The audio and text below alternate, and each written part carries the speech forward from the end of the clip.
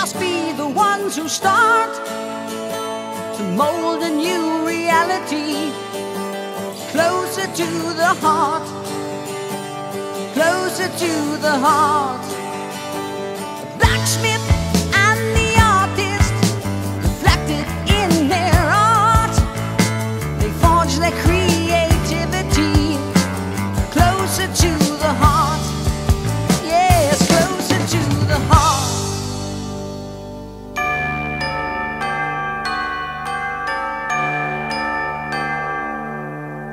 que no.